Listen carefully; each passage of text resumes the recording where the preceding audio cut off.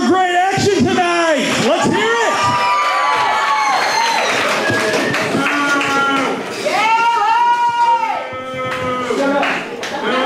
Welcome to PWCI this week. I am the Mad Conservative Crime Fighter.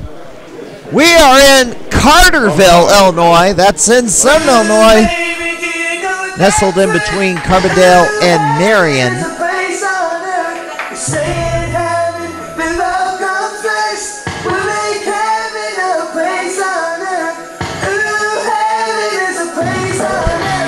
Who's doing this cover song, but Red Stripe Pro Wrestling. Been a long time since I've been down there. And this, we are inside their training facility just north of Carterville. And coming to the ring, the Stride Pro Tag Team Champions, the Sin City Saints, Jay Spade and Tony Flood. Many uh, eons ago, they were a regular tag team. They just uh, reformed their tag team recently, but when they uh, started out, and they uh, wrestled for Renegade Pro Wrestling down in, uh, gosh, what is the name of the town? Bridgeport? Somewhere in deep southern Illinois, just along the river. They were a regular tag team. They split up when they uh, both went to uh, IWA Unlimited. As the opposition comes out, Will Power and B Rad.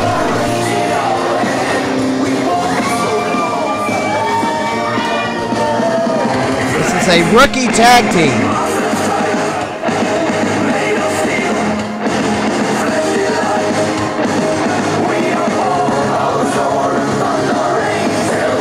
There they are. Inside the ring, the challenge. Flood and Spade for the uh, Stride Pro Tag titles. Pro Wrestling Tag Team Championships. Introducing first the challengers. They weigh in at a combined weight of 390 pounds. Willpower and B-Rad Team Frat Fitness. Frat Thick Frat Their opponents are the reigning Stride Pro Wrestling Tag Team Champions. They weigh in at 365 pounds. The Sin City Sin, Saint, Andy Spade, and Tony Flood. Oi. Kevin Hunsberger. No longer with WSIL TV in Harrisburg. He has left. He is leaving the news business, and considering how bad the news business has been lately, I don't blame him. I mean, I wouldn't hang around either. The industry is not uh, held in high regard with so many people.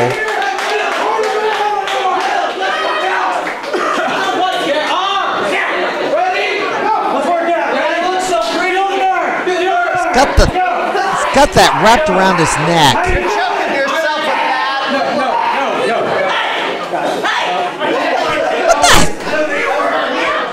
Gosh, this guy's not very bright.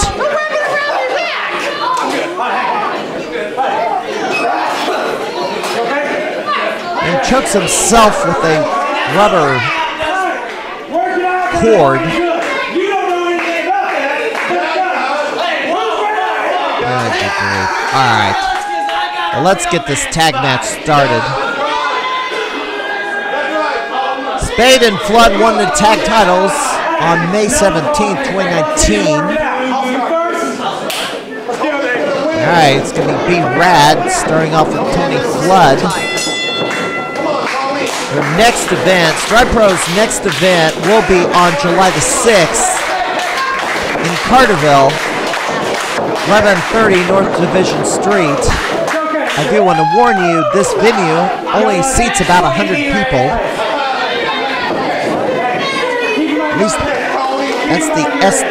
That's how much I think hold, this venue holds.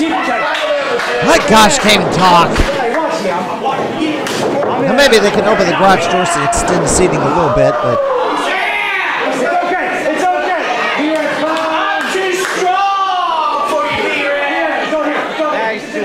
certainly is a far cry. This uh, the mat room in this building is much different than uh, when they're at Illinois Center Mall, Star Center Mall, and Illinois Star Center Mall apparently is going to be converted into a, I guess, a supersized strip mall.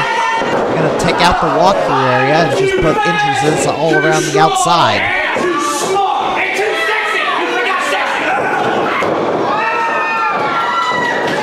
That uh, mall just did not uh, last throughout its, uh, it's about a 27, 28 year history. And Tony Flood rolls out to the outside.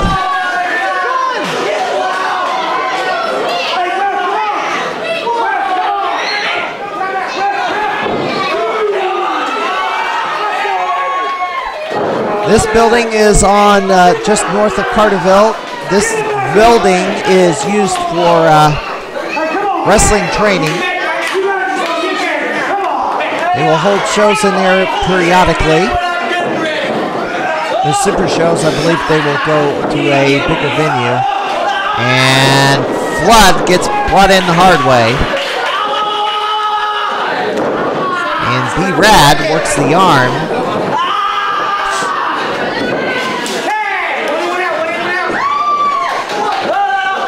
Mentioned Flood and Spade were a regular tag team in the, uh, gosh, the 2000s in uh, Renegade. I'm still trying to figure out this place they ran out of. It's not Bridgeport. I thought it was Bridgeport. That's gonna send for the ride. Swing a miss. That's swing a miss. And Flood ducks under. Will Power. Hip toss. Pick up. And a body slam. It's Metropolis. That's what I was thinking of. Metropolis, Illinois, home of Superman. Just across the river from Paducah. By the way, Paducah, Kentucky is a regulated state, not so much now. Regulations have been reduced a bit. Tag in to be Dubs. Axe handled the arm. And now, uh, B-Rad gets taken into the enemy corner. Oh, B-Rad just takes down Spade, but not paying attention because someone's in there right now. So hip toss. And Spade! Senton into the ring. Get control of this match, ref.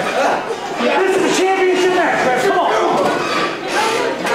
There you go. Spade. Hard shots.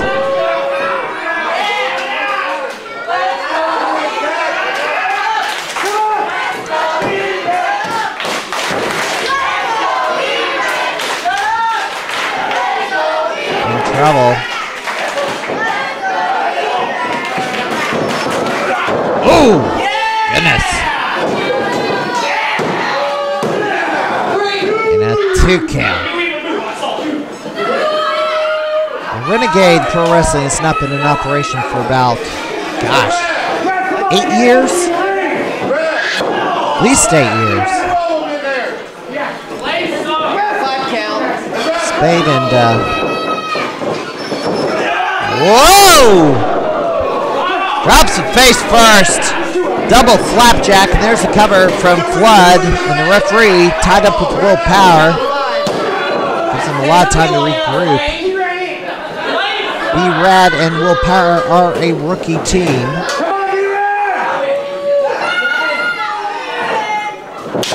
Ooh, wow. Shot to the face. And now a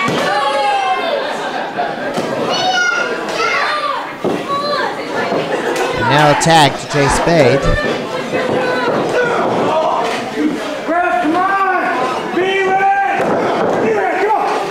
on! Come on, B-Rad! Spade nails B Rad. Need some willpower, baby, come on! I had a video malfunction just now.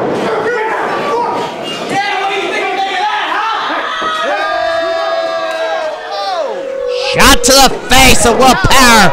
Will Power's coming in. Well, there's no tag. They just clap their hands. Choke on the middle rope. No tag. Ref comes in to count him. Well, this weekend, there's only one show in Central Illinois, and that's Wrestling Over Everything at Quincy Mall as part of MallCon. It's a 2 p.m. start time. Wrestling Over Everything making their first appearance in Quincy. I do want to note that uh, promotion who who uh, participated in uh, MallCon in previous years Renegade Pro uh, Rampage did not get invited back. Team! They lost out to uh, Wrestling Over Everything. They have also lost their venue in Litchfield, so they're running primary, primarily out of Alton now. And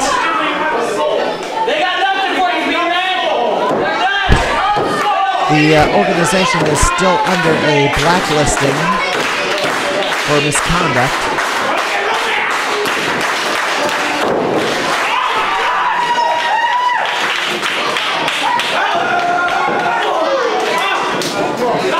Now, the Rad sends Flood into the corner. Oh! A collide! Ref, three, counting.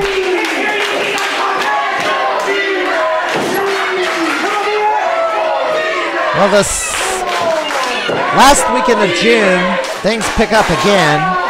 Extreme Midget Wrestling in O'Fallon, Illinois on the June the 27th. Casa Loma Ballroom on the 29th. There's a tag to Will Power and Jay Spade, Close line. and another close line. and Will Power, side elbow. Something I need to address a bit later too. I'll get to that in the next segment. Will Power. It's a jumping jock's elbow to the head.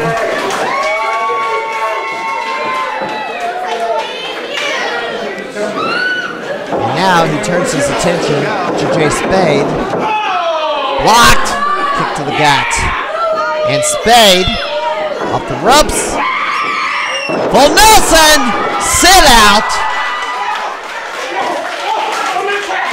SICW will be going to the Belle-Clair Fairgrounds in Belleville, Illinois on the 29th.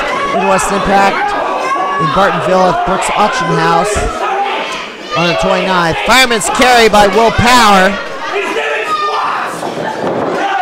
And catches Flood, hands him over to B-Dub. Kick. Taking too much time, and that's going to cost them. B Rad gets dumped to the outside, double kicks to the head. One, two, three, and too much hesitation. I don't know what they were gonna do, but They blew it big time. Wrestling Tag Team Champions, the Sin City Saints. don't hesitate. They were setting up for something, but too much hesitation, rookie mistakes cost them dearly. Spade and Flood retain the tag titles.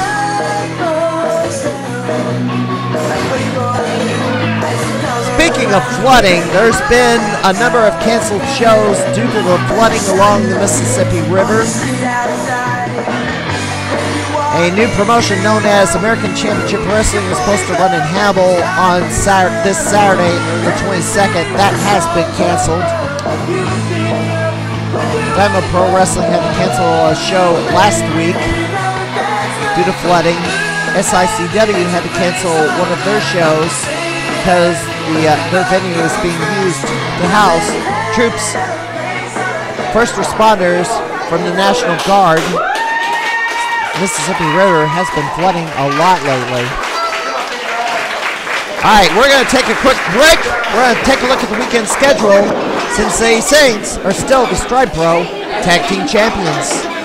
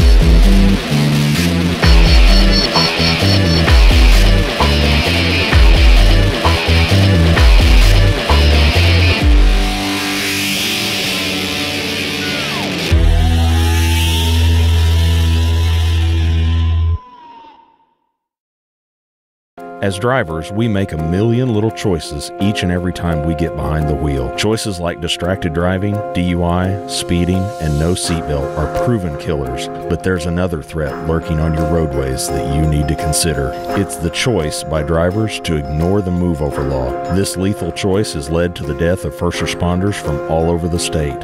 Men and women sworn to serve and protect you, the people of Illinois. Slow down, move over. It's the law.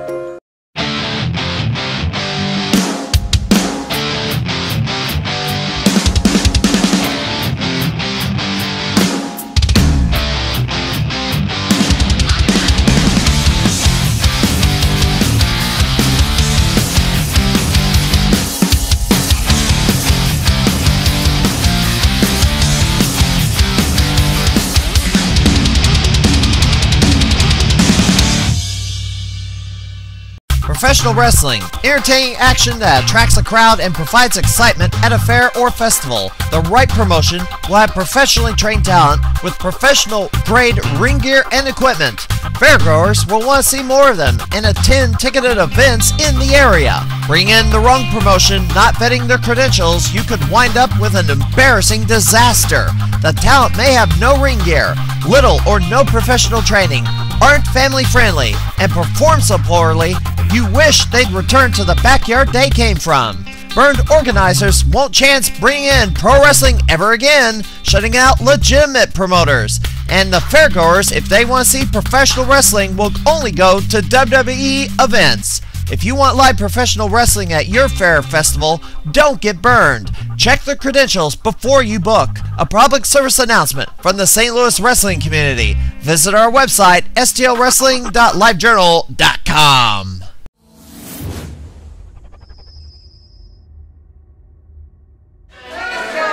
Where do you want to go? Alright, Oh, we're going to have a Stride Pro Wrestling heavyweight title defense. Close out this event. Who's ready for the main event? Stride Pro will be returning to this building on Saturday, July the 6th, 1130 Division Street in Carterville. Coming to the ring, a masked man known as the Wraith. Don't know anything about him. Here's another masked gentleman. First seating is limited to about 100 people. At least that's how many I can count in here. Only one show happening this weekend as we zoom in on the graphic for this heavyweight title match. If I can get in focus. Wrestling over everything at Quincy Mall this Saturday, starting at 2 o'clock.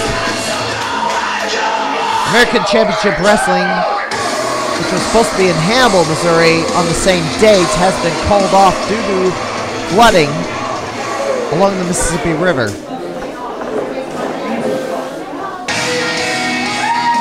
Last weekend of the month, a bunch of things will be happening. As the champion comes out, Red Daniels.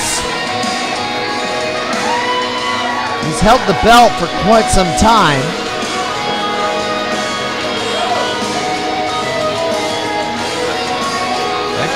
Belt on a, think a cash in. Won it on March the 2nd, 2019.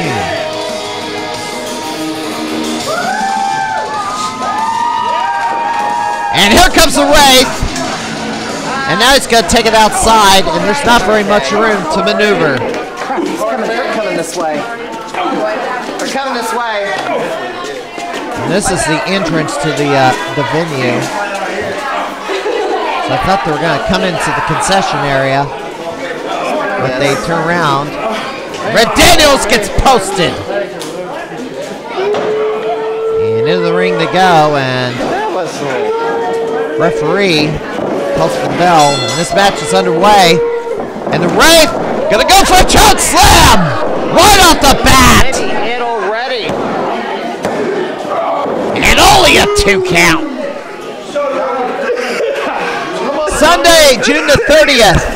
Jeez. You mentioned it a couple of weeks ago. Tolerant Zero will be the Tolerant Zero tribute event will be held by New Way Pro in Terre Haute, Indiana, at their venue, 1439 Nash Street, 2 p.m.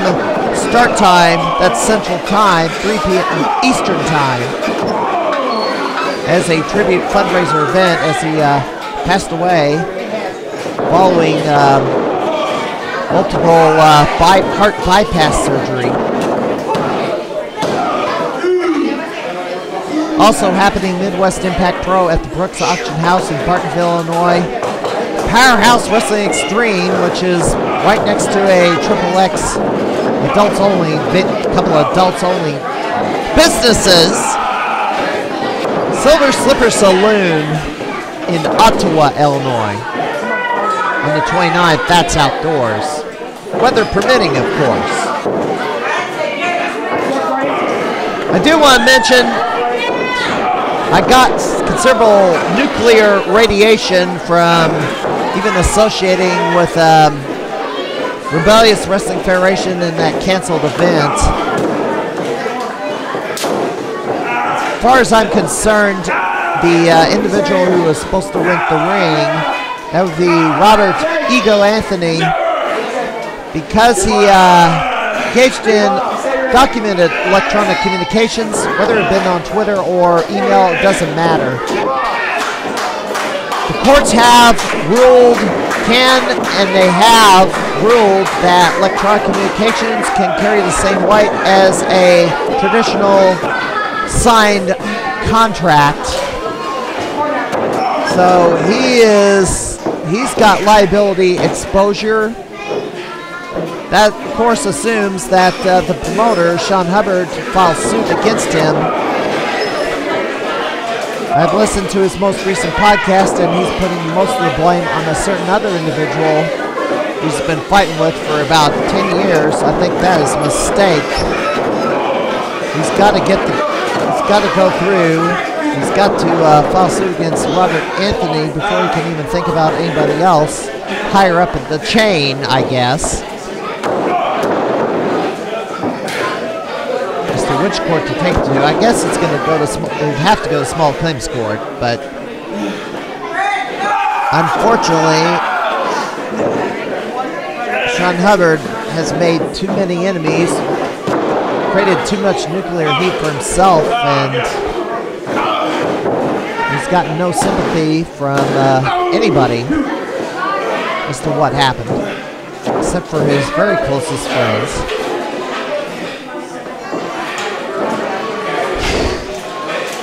And was I wrong for giving the benefit of the doubt? I mean, I've talked to some people in the aftermath of that situation.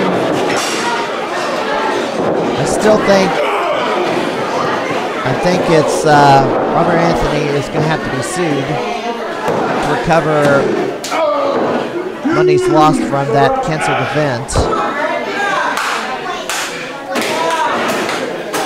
Even if he loses the loss, even if he's going, even if he loses the lawsuit, it still needs to be done. That's about the only way he's going to get any recourse out of this. It's not to say that Sean Hubbard's didn't make any mistakes. He made several. At this point, I don't believe Sean Hubbard can really trust anybody from this point forward to uh, promote a show because he's made too many enemies. And it's kind of unclear as to what the some of the things that led up to this. It's kind of unclear what's what's real and what's thick, what's false.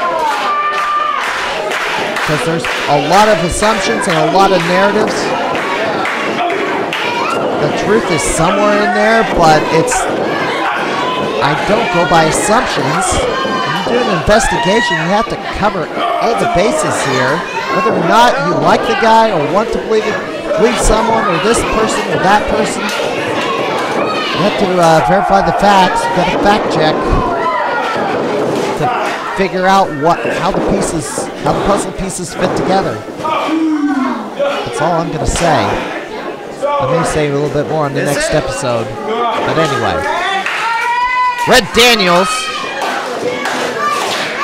came back, slammed the Wraith, got a two count. And now Red Daniels is trying to go for full Nelson, but swing and a miss by the Wraith. Red Daniels trying to pick him up again, blocked. He didn't lock those fingers, and now the Wraith gonna go for a choke slam, blocked.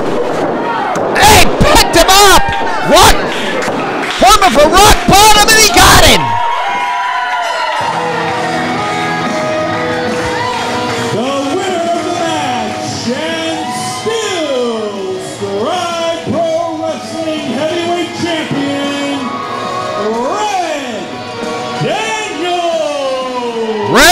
Daniels is victorious. He will be defending the title. Five minutes, 50 seconds. Winner by pinfall.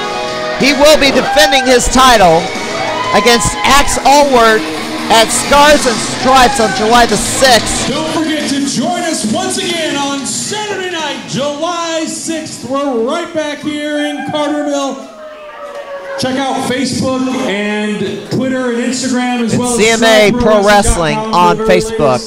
Fans, Anyway. thanks for coming out and have a great night. Anyway, Ghost has been busted. yes, it has. Axe Allward will be the next challenger, but we gotta get out here. I'm the conservative Crime Fighter. We'll see you next week.